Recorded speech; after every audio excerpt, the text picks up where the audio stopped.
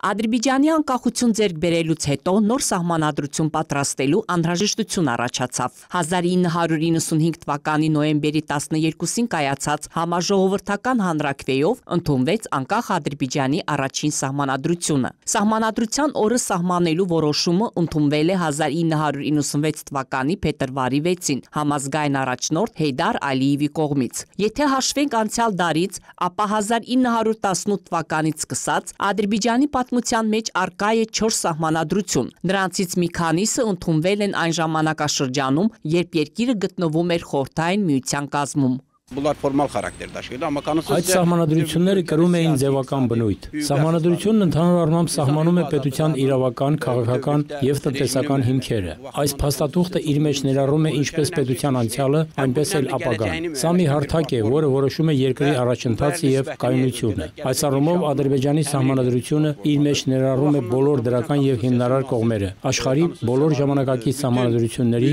որակյալ կողմերը։ pozitiv xüsusiyyətlərini özündə əks etmişdir. Ադրբեջանի Հանրապետության սահմանադրության բարձրագույն նպատակը մարդու ազատությունների եւ իրավունքների ապահովումն է։ Ադրբեջանի սահմանադրությունը ներառում է ազատ անկախ պետության բոլոր ժողովրդավարական սկզբունքները։ Սահմանադրության փոփոխությունները բնական եւ անհրաժեշտ գործընթաց են, որոնք տեղի են ունենում ժամանակի եւ գլոբալ զարգացման մեջ։ Դրա ապացույցն է հանդիսանում 2016 թվականին ժողովրդական հանրակրվեի միջոցով Ադրբեջանի սահմանադրության մեջ կատարված վերջին փոփոխությունները։ Պատահական չէ, որ Ադրբեջանի Հանրապետության նախագահը ստանցնելով պաշտոնը երթվում է աճ ձեռքը դնելով Ղուրանի եւ սահմանադրության վրա։ Թերևս սա է այս փաստաթղթի բարձրագույն դերի ամենագլխավոր ցուցանիշը։